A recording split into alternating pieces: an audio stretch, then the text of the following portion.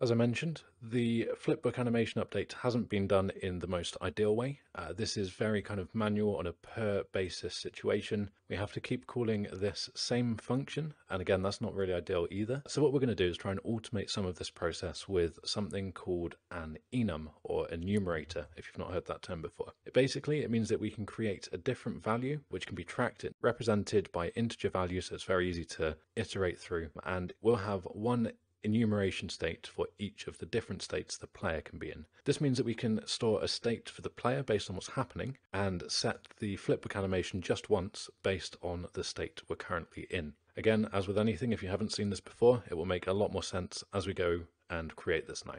So let's go back into our blueprints folder. This is essentially a type of blueprint. We find this by right clicking, going to blueprints and enumeration. I'm going to call this one E player movement Notice here that there's no underscore. The naming convention for enums is E with uh, no underscore here, and then the name of what they're representing. Uh, you could call this something like E movement states, E player states, whatever you wanted. I think this kind of gets the idea across. And like I said, we basically want to come in here and we're going to create a new enumeration state. So you can see it's quite a broad, empty class that we have here. We can press the new button a few times and get a few different enumerators. They're just going to automatically name themselves. These are just kind of a named representation. And we're quite simply going to create one for each of the different states. So I'm going to rename these to idle, run, jump, and fall.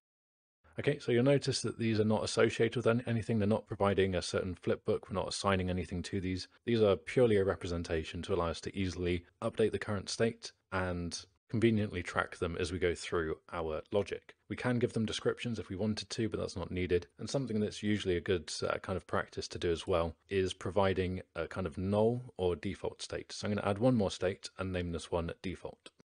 Generally, if we ever hit this state, that means something's gone wrong. Um, so this can be like a check that something's not been updated correctly. For some reason, this would be if, for instance, all of our movement checks have failed and we haven't returned that we're in any state at all. So that would mean we're like somewhere between idle, run, jump, and fall, which is something we've not accounted for. So we're going to set this to default and I'm just going to click this arrow to move this up because generally this will be the first enum state that we provide. So if that done, we can close this. We now have our new variable, and that's what we're going to use, use this as is a variable type in our player class. So if we come down to the variables option, we'll click this. We'll name this movement state.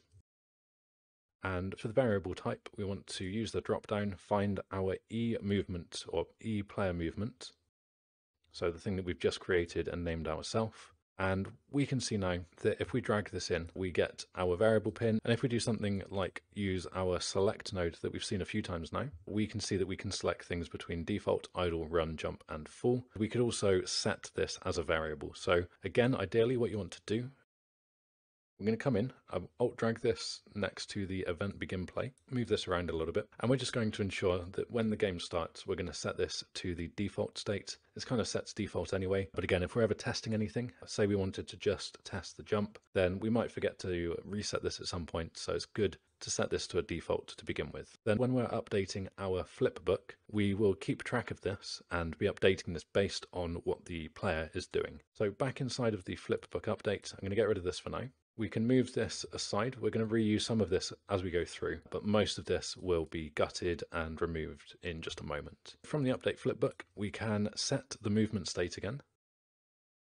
And again, if you're not familiar with this, if we just set a variable here, it's going to create the execution pins between both of these. And we basically want this to be the return of a set of checks. So we're going to be very familiar by the end of this with our select node, as this can provide some really useful easy to read automated code in, in different ways. So what we want to do is we're going to set this to be the return of a set of logic using our select node. Now the first thing we can check, again we've got most of this ready to go, uh, we can start by checking if the player's on the ground. So this is our grounded logic. So I'm just going to control X and control V that down here. So we won't need this again, so we can just reuse it here. So what this is now saying is if we're on the ground, this is false, of course, that means we are idle. So we're going to set this to uh, idle here on false. So we're going to assume that we're not moving. That does leave us with some more logic that we need here. So this is going to be this true variable will be based on the return of the next select node that we use. So we'll use another select node here. We can see it's passing through the movement state to all of these. So these pins are all expecting the E movement state. And what we want to do now is check whether or not we're falling. So if this hasn't been uh, the case, which means we're going to fall through and check the next select node, uh, we now want to know whether or not we're falling. So again, we can control X and control V so that we know that we're reusing and accounting for all of the movement states we've already looked into over here. So again, if this is true, we are falling we already know that we want to know in which direction we're falling. So we can't set this to jump or fall because this could be two options. So that lets us know this is another select option here or another scenario where the select node is going to work. And that's going to be the return of this check here. So remember that was our positive or negative check for the vertical movement. So again, Control X, Control V. So we now have all of our checks. So we know that if this returns, we won't need any selects here. This means that if this returns true,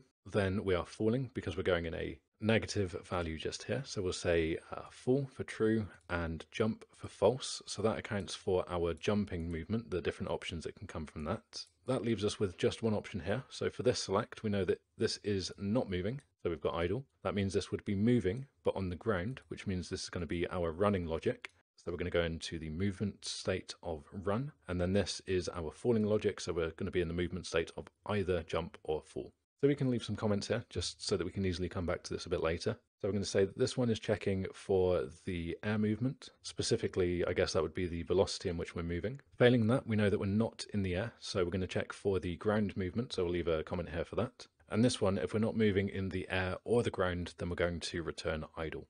So some nice comments to come back to just to kind of remind us what these are doing. And the best way to think about these, if this is again completely new to you, is these are kind of falling through. So as this is being updated, the first thing this is going to do is going to select what movement type to set this to. So if the velocity isn't equal to zero, then we we're not just going to return false here, we're going to go and check the next select node uh, because that would mean it's true. And then we're going to check this logic. And then again, if that isn't the case, so if that's true, then we're going to go back and see what our final check scenario could be. And that's going to give us some type of air movement. So this will actually already be working if we had the final stage, which is going to be setting our flip book. And hopefully this is going to be the bit which kind of solidifies why this can be so useful. So we can now unhook all of this select just one of these set flipbook nodes here. So Control X, Control V. Ideally, I would have brought the sprite with that as well. So we'll hook this sprite up into this. We'll plug this in here. And we're going to use that useful select node one more time. So what we're going to do is we're going to select the flipbook that we want to display based on our enum that we have tracked. So we'll pull from here again and type select.